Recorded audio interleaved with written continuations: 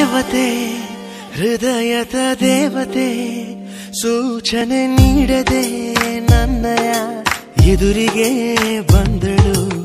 ಯೋಚನೆ, ಅವಳದ ಯೋಚನೆ, ಅನುದಿನ ಯೋಚನೆ ಮಾಡುವ ಆಸೆಯ